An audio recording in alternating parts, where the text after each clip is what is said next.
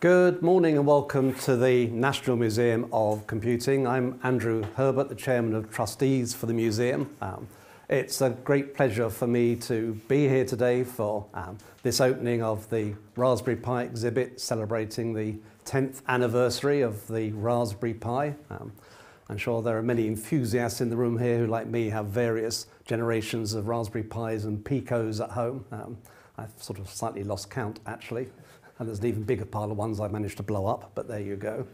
So um, looking forward to the day, we, we start with um, interviews with um, Eben and, and um, talking about the, the, the, way the company has grown.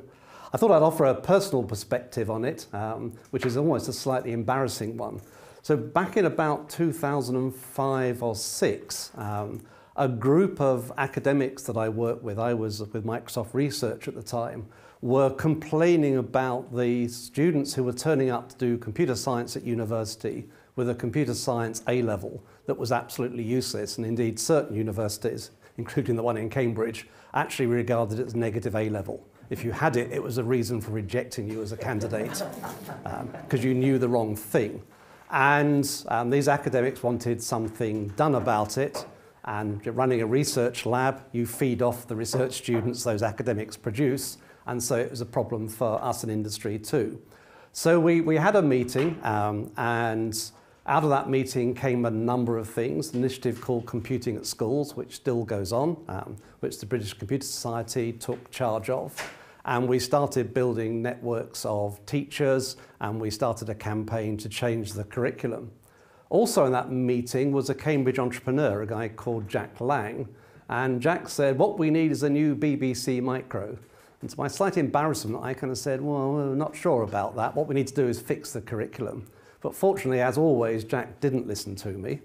And while I and others went off and fixed the curriculum side of things, um, he went down a path that led to the, uh, the creation of Raspberry Pi, and it's been a fantastic success.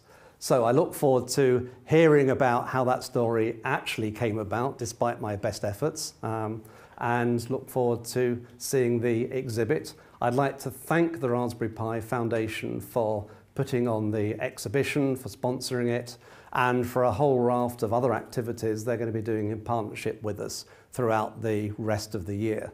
So with no further ado, I'd like to hand over to PJ, who's going to run the uh, rest of the morning, and we'll shuffle the microphones as we do so.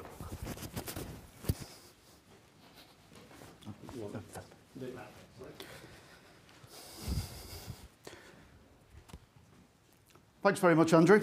And uh, I'd also like to take the opportunity to welcome you all here to the National Museum of Computing. Thank you all for coming. And also everyone uh, watching on YouTube. Hi.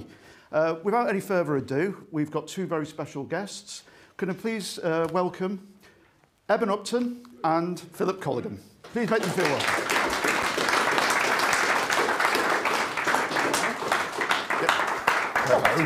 Hello. Hello. Hello. So, as I'm sure you know, Eben is CEO of Raspberry Pi Limited and Philip is CEO of, of the Raspberry Pi Foundation. So, gentlemen, let's start right at the beginning. What is a Raspberry Pi? Oh. Shall I do? Because yeah, I, I say the words very frequently. Um, so a Raspberry Pi is a credit card sized computer that we developed in Cambridge in order to teach young people to program computers. And you can see some fraction of a Raspberry Pi here on the, uh, on, on, on the screen. Uh, I think probably enough, if you fit all the bits together, you probably get a full, a full Raspberry Pi. Um, and we've been, we've been making these things for about a decade, um, uh, um, and they've gone through various iterations, but they all basically end up looking like a little green credit card. You plug into your television, plug a mouse and a keyboard into it, and you have a computer. And we started to touch on the genesis of the project there. Where did you pick, get come into the story? Um, I, well, I've been trying to build little. So I was a, I was a director of studies in computer science at St John's College. So I was directly exposed to some of these challenges with the um, the more the number I think than the quality um, of young people. We the um, applicant numbers have declined very very rapidly from the end of the 1990s down to about 2005. I think the nadir was about 2008, which was the year that we incorporated um, the foundation. So I'd been exposed to that. I'd been building little computer things for a little while um, uh, uh, before that. Um, and these kind of two strands came together Um, and this various people who'd been experiencing the, the, the, the, decline from various angles, most of them in Cambridge, uh, with the exception of this gentleman at the back here, Pete, um, who's up in the northwest. Um, uh, various of us had been experiencing this problem from different angles, and really Raspberry Pi, the Raspberry Pi Foundation that kind of came together in 2008 was the, the, the, the machine, the engine that was supposed to make this piece of hardware, this, miss, this idea of a missing piece of hardware, the idea that as hardware had gone away, as programmable hardware had left children's lives, um, uh, the number of people interested in computing had declined. Very much the idea that if we brought back a piece of hardware, perhaps some of that enthusiasm that we'd experienced in the 1980s might come back. And Raspberry Pi Foundation was the machine to try and build the machine. Fantastic. And the name, why is it called the Raspberry Pi? um, that's John Crowcroft's fault. So John was a, uh, is a professor at the um, uh, uh, university in, in Cambridge um, uh, and the older of the two universities in Cambridge. Um, and um, it, it, as part of this discussion that Jack um, was, was co coordinating at the, uh, um, at the computer laboratory, um, he sent an email that just said, call it Raspberry question mark. Um, the idea of fruit-named computer companies, there are lots of them. Uh, there's Tangerine, obviously, yes. uh, Apricot, um, Acorn, I think technically. Um, there's a big one, there's a big, there's a big well. one in California somewhere. Um, so, you, so there aren't actually that many fruits left. Um, uh, there was there was a, there was definitely there was a strand of. I remember that there'd been some discussion of MIT building an Apple II clone for this purpose.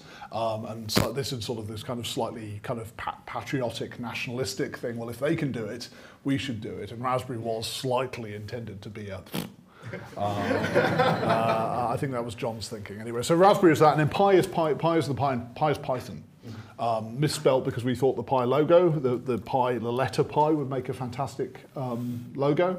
Uh, and we've ended up, obviously, as you can see, with a picture of a Raspberry as our logo. But uh, um, uh, we, we didn't find that out until long after we'd frozen the name of the, uh, of the foundation. Ah. So, over the years, Raspberry Pis have been used for all manner of things from educational purposes to just because you can type of projects.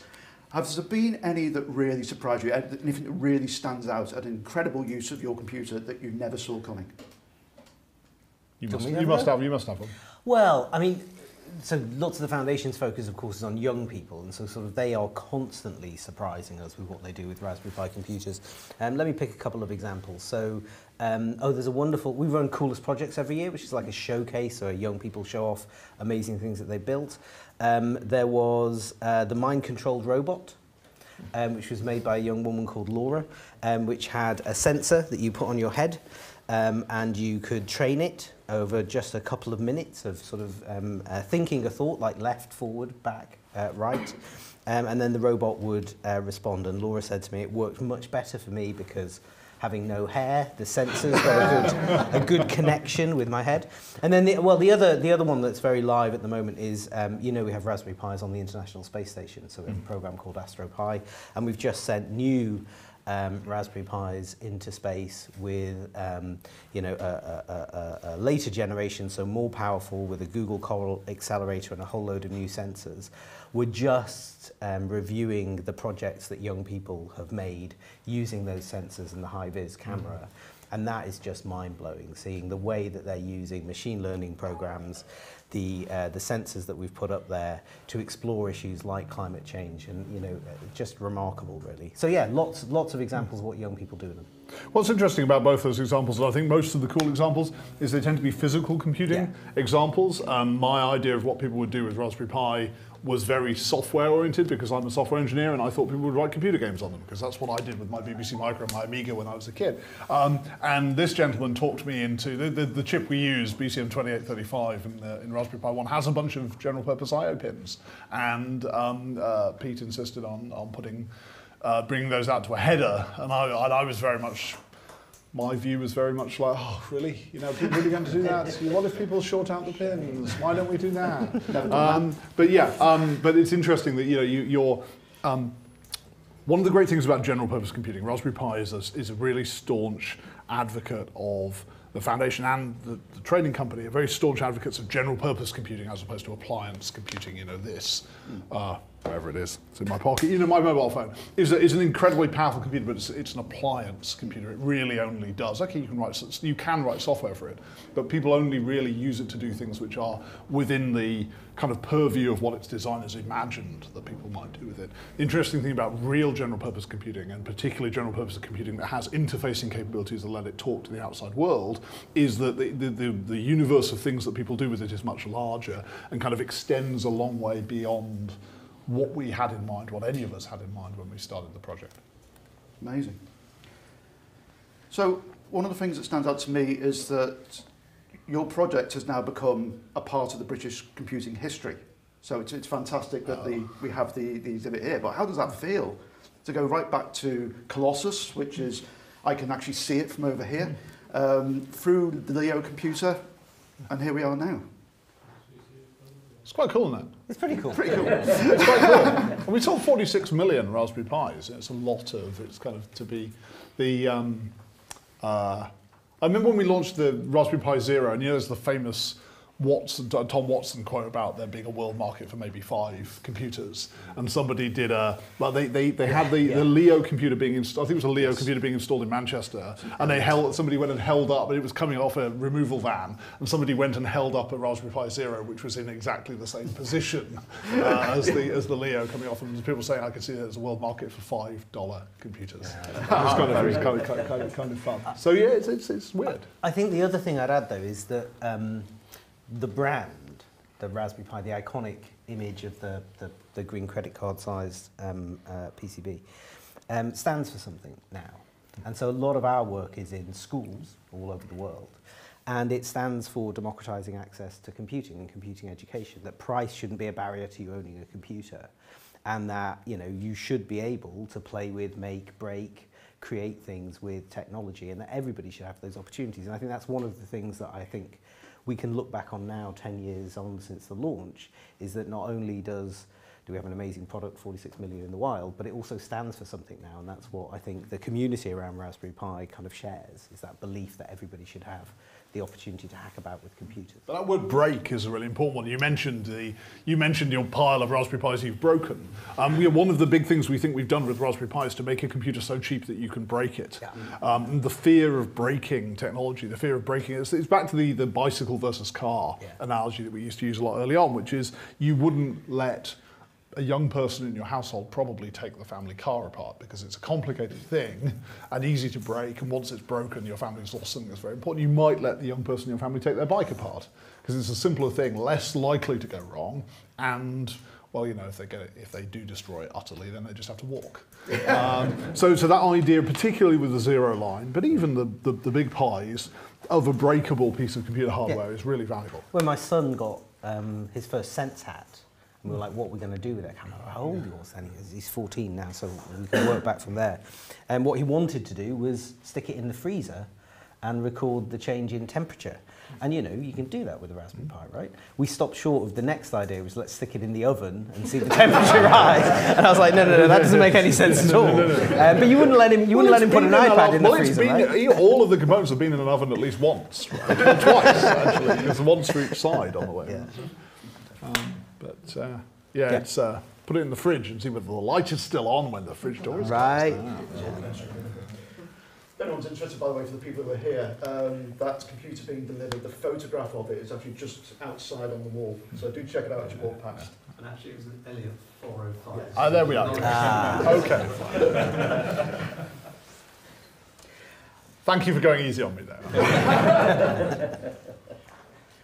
One of the things I wasn't expecting, and I was one of those that was right there on the day, frantically refreshing the website, trying to get in to order my first one. I'm sure some people in this room were too. The day when nobody could order resistors. The yeah, that's the one.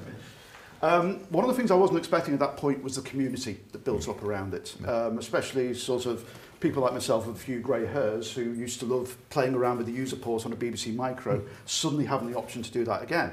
Uh, were you expecting that level of community to, to explode the way it did?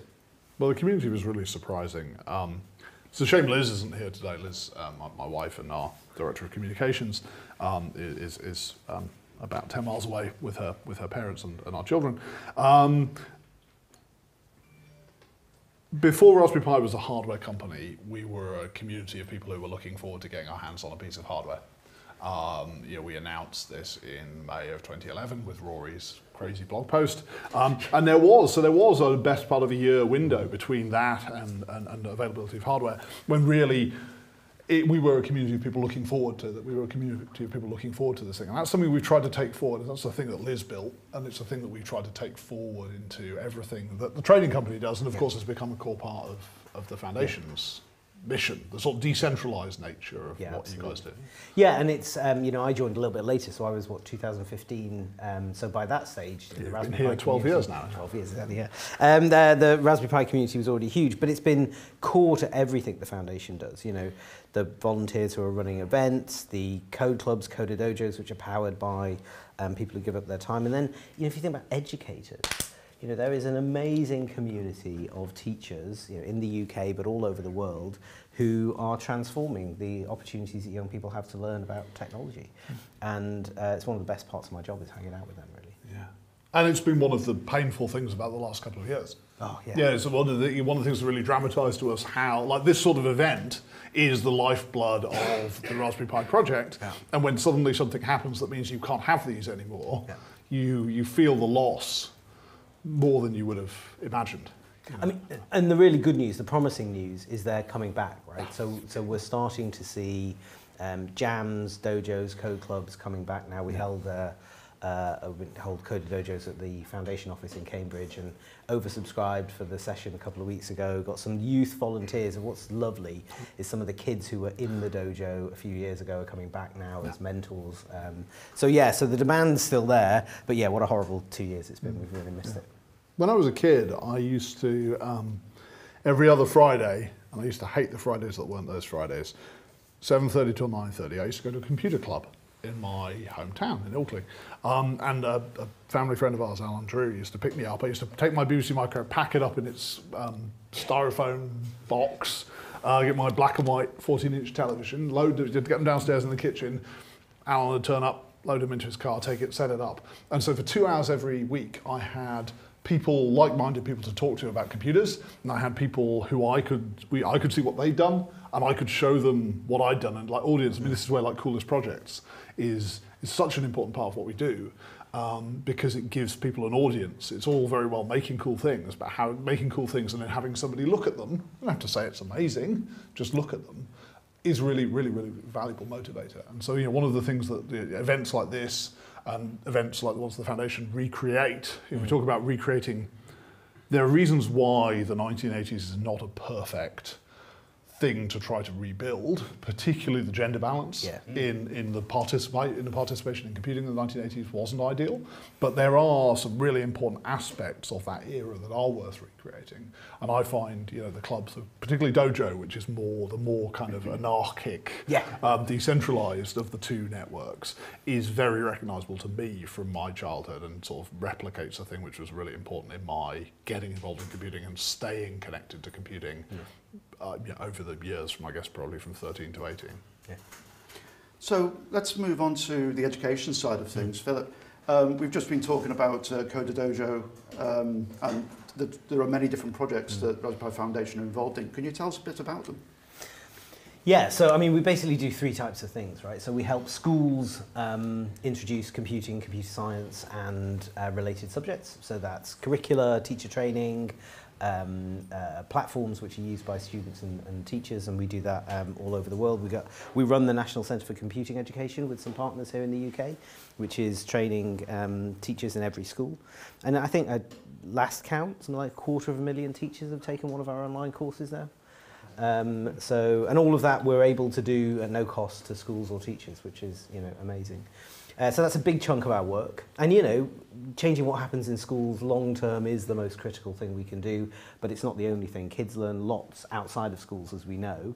And so the second chunk of work is all about learning outside of schools, and that's online, it's in clubs, it's in youth and community organisations. It's you know activities that aren't part of the curriculum, like our space program. So that's all about inspiring, giving opportunities. Can we say like our space program again? Yeah, no. I know. that phrase too many times. There's not many charity chief execs who stress about the weather at launch sites for rockets, you know. Um, but I did, I did have a moment there. Um, and you know, it's important to say our work is global, right? So, you know, in India, we're working with Pratham Education Foundation, who work in rural villages all over India with kids who will never meet a qualified teacher in their lives, right? And we are partnering with them using um, uh, uh, Raspberry Pi devices, but also giving them access to computing education. So those kids are in code clubs, um, where they're building animations and games with technology, right? It's just amazing. So, um, so it's schools, things that happen outside of schools, and then research. So a big part of what the foundation's trying to do is some rigorous research around how do you help young people learn these skills, and how do you try to address things like the gender imbalance. Um, and so we last year launched the Raspberry Pi Computing Education Research Centre at the University of Cambridge, which is a nice kind of circular thing. It's a partnership with the Computer Lab. And uh, yeah, so that's kind of what the foundation does. And we, we do it, as I say, all over the world now. And how would you say the Raspberry Pi computer itself facilitates that? Oh, well, uh, lots of ways. Um, so, I mean, as I said, the brand stands for something, um, which is incredible. Um, the profits from the sale of Raspberry Pi computers is kind of helpful. So We've returned the occasional. Yeah, well, it's over over thirty something million pounds now, and we combine that with um, you know funding from uh, donations, philanthropists, and, and from governments. But then the the, the products themselves are, are, are essential, I think, in two ways. So one is, um, as we've talked about, Raspberry Pis being used in um, physical computing projects, and that's not just the you know the the the main board, I mean, the Pico is obviously huge now, things like the collaboration we have with Lego. Um, you know, we're helping kids bring their ideas to life through um, low-cost uh, computing and electronics projects.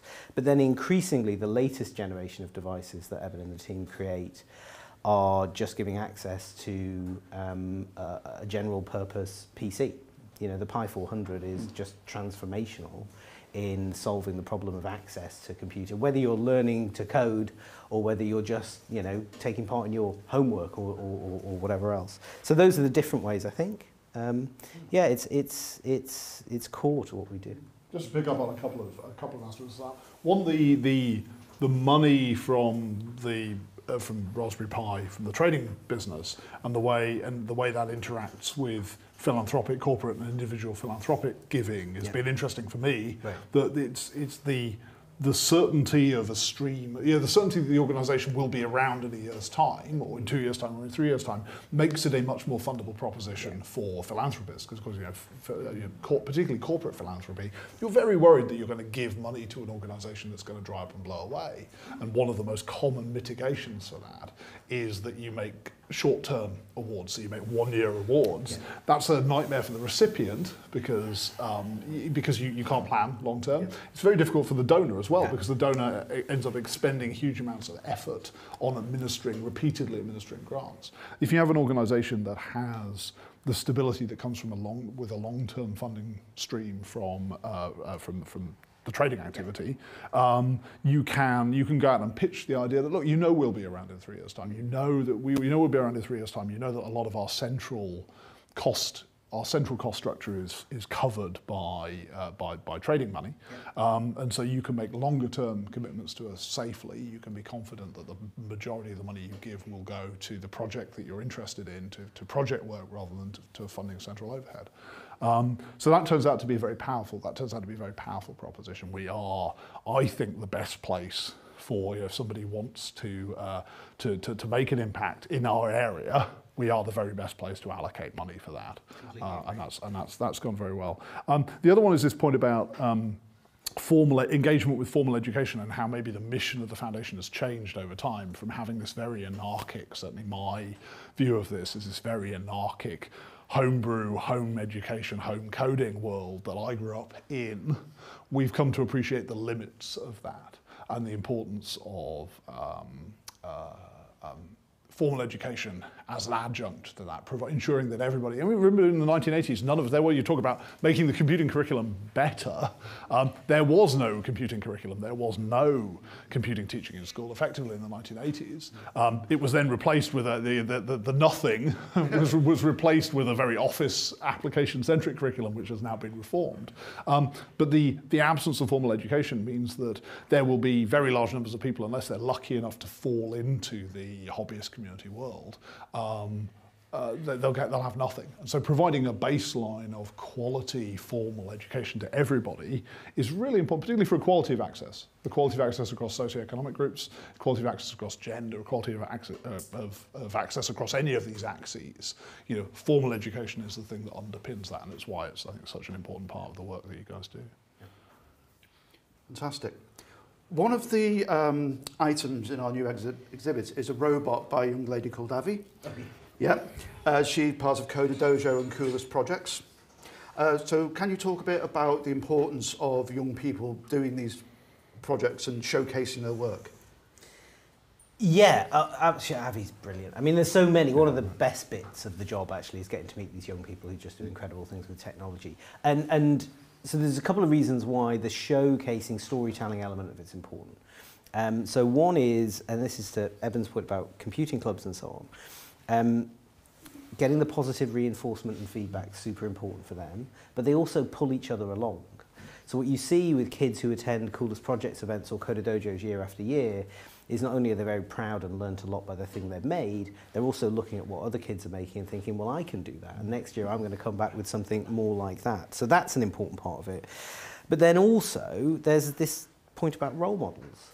You know, and we need, particularly in terms of things like getting more girls involved or kids from different backgrounds involved, we need to be um, showcasing um, and, and shining a spotlight on kids from all sorts of backgrounds so that everyone feels they can be part of this. You know, one of the challenges, I think the legacies from the, the situation you were describing, Eben, in the 80s and 90s, is that it looks to a lot of young people like you've got to be a certain gender or from a certain, from a certain background to be in computing, and it's just not true, right? Um, It's ridiculous. I mean, the computer industry looks like, I mean, it looks like me. Um, and that's not right. It's fine that people like me are involved in computing. That's wonderful. But we are we leave so much talent on the table. You know, from, from the point of view of the industry, it's a disaster for the industry because you know we are so we are starving for. talent. I mean, anyone, who- anyone in here who's involved in trying to recruit engineers knows how we are starving for talent. You know, the, you know the number, the time it takes to fill any role. So the industry is starving for talent, but also individuals are missing out on the opportunity to have this amazing job. Yeah, engineering just has this this ah, it just has this this PR problem that it's just you know they pay you money to sit indoors, good money, to sit indoors in the warm, and every day they bring you problems to solve. Challenges, Lego, basically just toys, problems to play, Lego to play with and problems to solve, and they do that every day, and they pay you good money to do it. Yeah. Uh, you know, who wouldn't want that job? And you know, if we if we somehow create an environment that that, that, that makes some people feel that it's not for them, that's a disaster for everyone. exactly. Yeah, I'll, I'll give you my card later. In the 70s they, uh, and early 80s, there- there's the government had this TOPS program, which is to churn out reasonably qualified software developers. Mm. Uh, and I think that's certainly uh, uh, uh, uh, something that's missing because we can't rely on bringing offshore Yeah, people yeah, on board yeah. year after year, Yes. decade Yeah, after we year. become a, we, we, we become as a country a little bit a parasite on other countries. Uh, you know, we, we, we, we draw people from, uh, you know, particularly my, my uh, in, in industry, so semiconductors, we draw people particularly from India and China. Um, we just we're just a parasite on, on, on these other countries that are doing a better job of educating their, their, their, their engineers. And it's why, it's why the changes that we've seen in the last five to 10 years are so powerful. Um, but you know, more government involvement, particularly among, in adult education, actually. Adult education Tilly Blyth is one of our uh, trustees at the foundation uh, and is a curator at what, what is her role now? She's become staggeringly staggeringly senior now at the Science Museum. She wrote a, a, a study a few years ago of the um, of the um, compu- the computer literacy project that gave rise to the BBC Micro. The really interesting thing there was I had having experienced the BBC Micro as a child, my view of the BBC Computer Literacy Project had been very much about its impact on children. Mm. Uh, but what, when you go and look at it, how much of that was focused on reskilling adults and providing adults in sunset industries with an alternative route into, mm. into good employment was very important. And that's probably, if there's a thing that's missing, a lot of progress has been made in the last 10 years. But if there's a thing that's missing, it's probably that focus on adults and probably also the focus on industrial strategy that's gave us, you know, if you go to Bristol today, you'll find a place that's chock full of semiconductor engineers. Why is it chock full of semiconductor engineers? Because of INMOS, because of the failed UK government investment in building, in trying to build a, a, a, national semiconductor industry, where the kind of the core mission, building INMOS, failed, but spalled off this enormous supply of very, very talented, very, very qualified IC engineers. That's now the anchor of this kind of big, big silicon community. So those are probably, you know, if there are things which are, I guess, out of scope for the foundation, which is very focused on um, on children, if there are things that could be done that are out of scope, it's probably that constellation of industrial strategy and adult education. Mm. Digression. Sorry. things we can't solve. Things we can't solve, but Not we yet. can at least complain about. You know? yeah. yeah. But 10 years ago, we couldn't solve anything and we just complained about things. Yeah. so, we're here today to the opening of the exhibition, which you've kindly sponsored, showcasing 10 years of Raspberry Pi. Uh, we're open till 5 o'clock, so there's plenty of time for all of you here to have a look at the exhibit and all the wonderful things we have at the National Museum of Computing. Uh, for the benefit of those on the live stream, uh, we prepared a short video to give you a little guided tour and sneak preview of the exhibit. Let's take a look. Is it going to appear? hey everybody, Mr. C from the Raspberry Pi Foundation here. We've been working on a brand new exhibit at the National Museum of Computing and I wanted to give you all a sneak peek on what we've been up to, so come along and have a look.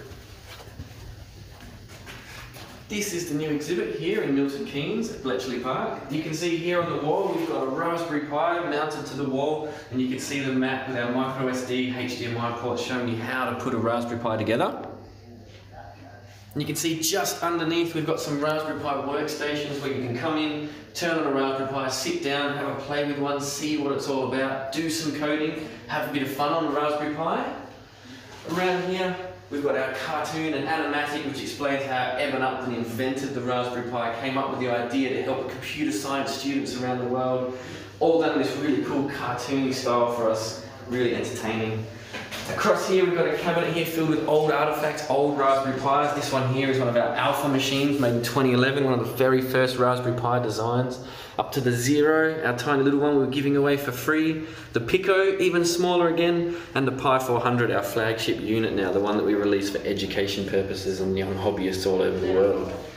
Speaking of young hobbyists, you can see here we've got all these photos of our community. These are all young people who have come in and been at events that we've run, come and built their knowledge, skills and confidence to use computers all over the globe. And then moving across we have this interactive table. We have here a Raspberry Shake, which is like a seismometer which detects earthquakes. We have a Piper computer here, which is a really cool self-contained laser cut machine for learners and educators to use. And in our final cabinet here, we've got all these really cool, amazing artifacts, some of the really amazing stuff that Raspberry Pi can do. We've got Avier's Voiceatronic robot here, which responds to voice commands. We've got a really cool little hacked together cardboard buggy at the back there. This is our IZY, so this is a Pi-based video synthesizer, really cool thing.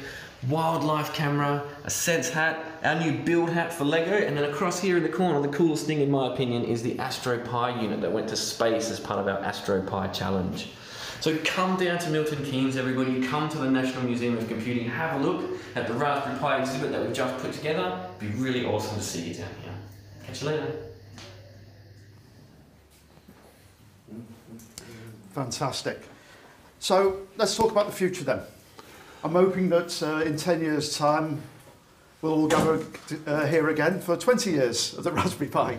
Well, the weird thing is that one of the very, very first events that we did um, for uh, as Raspberry Pi was the 30th anniversary of the BBC Micro ah. at ARM in, in, in um, the, the um, spring of uh, 2012 um, there was an event at ARM. To, and so it's, it's kind of 10 years. It's kind of not, yeah. you know, we've been around, Raspberry Pi has now been around for a quarter of the time that the BBC Micro has been around for. And, you know, that's going to keep, yeah, 20 years is going to feel fairly, fairly momentous, I think.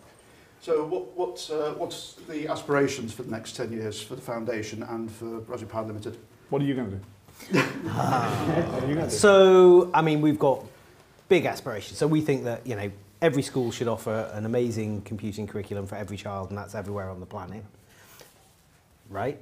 And we think, and we, you know, we partner with organisations now in in uh, Little I think Pac-Man thing. 50, yeah, yeah, quite 50 countries. So we're partnering with organisations in 50 countries to help make that happen. And we also think that every community should have a bit like think of it like music or sport, right? Every school should offer a musical sport curriculum, but every community should have a vibrant sort of network of sports and music activities that young people can do outside of school as well. So that's the kind of uh, the vision. More near term. Um, the big thing that we're doing in the foundation now is expanding into sub-Saharan Africa. So we're just launching partnerships in Kenya and South Africa. And we've done a lot of work over the past few years in India. And that's amazing for us, very humbling uh, experience. We're learning a huge amount about those markets. But, you know, for us, yes, we want to have an impact in the UK and America and, and, uh, uh, and Canada and Australia, but we're also pushing ourselves to have an impact in low middle income countries. So that's probably the big stretch for us in the next period. And I guess for us, general purpose computing, right? We want to keep general purpose computing alive. We really, we really believe in general purpose computing as it, it, it's, it's not a thing that we don't have a God given right for general purpose computers to exist. It's almost a historical accident that there are general purpose computers. And obviously the PC and the Mac, the kind of two big surviving um, members of what of the surviving representatives of what was the way that all computers were at, at one point. You know, Raspberry Pi is already, I think, a very important part of the general purpose computing world. We want to make it a more important part. We've always seen ourselves as a PC company, and what you've seen happen over the last since we launched Raspberry Pi 4 in 2019, you've seen us really deliver a PC-like experience hmm. for the the median computer user. You know, it's always been a usable PC for a subset of users, and the size of that subset has grown. I think now Raspberry Pi 4. And we discovered this in the pandemic when we Yeah. were deploying Raspberry Pi 4s and then Pi 400s um, uh, to, to young people in the UK who were uh, struggling to access um, uh, um, computing, a- access the, the internet. Um, we discovered that legitimately 4 and 400 are PCs for the median user. And that will expand, you know, obviously there will at some point in the future be a Raspberry Pi 5, there'll be a Raspberry Pi 6, a Raspberry Pi 10. I, I can't, it'd be interesting to, to see where we are in, Raspberry Pi 4 has proved to be a platform with incredible legs. We've recently mm. posted a performance update from 1.5 to 1.8 gigs, so it's a platform that we are stretching and will continue to try to stretch. I wouldn't like to try and predict how many new Raspberry Pi generations we will have fitted in in another 10 years' time. Hopefully a couple, maybe. We might be on Raspberry Pi 6 by then. Um, but really the hope is that um, just as the Foundation's mission is that everybody in the world will have had an opportunity, will have an opportunity to experience a world-class computing education. Our mission is to ensure that everybody in the world has an opportunity to own their own general purpose computer. Uh, we think it's transformational in education, we also think it's transform, transformational in entrepreneurship. You see the number of people who are building their businesses around Raspberry Pi, building their products on top of Raspberry Pi. There's a lot more to do there. Um, Pico and RP2040 open up a really interesting new angle there. You know that this is now Raspberry Silicon. Um, you know this is this this is first pass, first first party silicon. It's a device RP2040 that's come along at a very interesting time when you can't buy anything else. Um, so it's both a, you know it's a, it's a it's a great product, but you know one of the lessons I think of technology is that a great product is not always enough. Um, uh, you know, you people will people are in, inherently conservative and will stick with inferior um, uh, products if they're the product they know. The really interesting thing about RP2040 is it's come along, it's an amazing product, and it's come along at a time when you can't buy anything else, and therefore there is a real push for people to discover RP2040 as a platform, build their products around it. We have people now buying RP2040 from us at 100,000 unit scale who are telling us that their alternative would have been to fold their business up. It would have just to stop, not to shrink, but just to stop because they can't buy anything else. Um, once they've experienced it, they become very, very excited and enthusiastic and passionate and they, they, they start to advocate, advocate for it. We actually have enough material on hand or in process to build now 25 million more. We've sold several million RP2040s. We have material on hand to build by August. Um, our wafer output and work in, and, and WIP will be sufficient to build a further 25 million RP2040s. So we really are we really believe in that. You know, it's a wonderful opportunity to both to build interesting new educational products. The um, the Lego product, the Build Hat, um, is built around RP 2040. We will have future educational pro- products that are built around RP 2040. So it's an interesting opportunity to build our own product, but it's also as with all Raspberry Pi products, an opportunity to enable other people to do interesting business that they wouldn't have been able to do otherwise. And that's exciting. Very. You know, semiconductor company in 10 years' time, you know. Yeah, so for anyone who doesn't know, what you do is when you wake up in the morning, get your phone out, open up Twitter and see if he's tweeted morning. Yes. At that point, I'd Yes. start refreshing Yes. Pimoroni. I don't. I don't tweet anymore. And yes, that's it. we went through a bit of a. The interesting thing was we went into the pandemic with quite a queue of products ready to go, and so there was quite a lot of. Um, often for a little while, pictures of Kit, my my then less than one year old son, on the playmat in the morning, and a picture of yes, a picture of Kit on the playmat at 6:45 in the morning was generally, as you said, a sign that you should start refreshing Pimoroni. yeah, yeah. Yeah, we're not done yet. Excellent. Well, on that point, um, Helen, do we have time for questions? How are we doing? One or two questions. Has anyone got a question? Yes. When you designed the first Raspberry Pi, you So- didn't have an A, you didn't have an AD, you didn't incorporate an ADC. into Ah, it. yes. Now that means that um, uh, there's plenty of other peripheral manufacturers Yeah. that benefited from that. Yes. Was that a conscious decision? I don't think it was a conscious decision, was it? We just didn't have any money. Yeah, just, Yeah. They, they used to call me the hatchet man because every idea they'd come up with, I go, no, cost too much. Um, we left, we left lots of things off, but the principle that we used was if it needed to be there for the educational mission, we would put it on there. Mm. If you could live without it and perhaps have an add-on board to provide it, like the real-time clock is a famous one. Uh, the power on switch is an even more, and a reset. By the 20th anniversary of Raspberry Pi, there will be a Raspberry Pi that has a power switch. We've heard it here. Right, so, oh, oh, oh, new product announcement. Raspberry Pi 4 Plus. It's just the Raspberry Pi 4, but with the power switch. But, but what is curious, the original manufacturing bomb that was going out to China was not going to have the GPIO header on it. Mm, yeah. And by some, I wasn't. I clearly wasn't paying attention. no, no, you, you clearly, Yeah. clearly the drugs had worked and you left it on. Yeah. But that was, uh, I'm going to tell my bomb story now. Now he said bomb. I'm going to tell my bomb story. Um, so I remember being on the phone to Pete from the departure lounge at uh, Heathrow on my way to California for, for, for, for something in the autumn of 2011 when we were working on really trying to get the thing down to an achievable manufacturing point. And I had a call with Pete and I said something like, could you send me the bomb? Um, because I'm going to be on the plane for 10 hours. I can do a lot of work on the bomb. I want to go through the bomb a few times. I could do a lot of work on the bomb on the plane for 10 hours. And I was kind of aware of this circle of silence expanding out around uh, and knowing where the nearest of the gentleman with the, the bulletproof vest and the, uh, the MP5 um, submachine gun was, and thinking, I hope that circle of silence doesn't, doesn't intersect with the position of one of the, the angry gentlemen. Could have been a different story. But I survived. So, so that's good. Fantastic. Well, I'm afraid we're out of time. Um, so, but that's good news because it means we get to open the exhibition and for you to all have a look at it. Uh, so, just like to say thank you again to Eben and to Philip for joining us today. Well, thank you. We're really privileged to have you here. And uh, here's to 10 more years of Raspberry Pi. yes. Thank you very much, everyone. Thank you.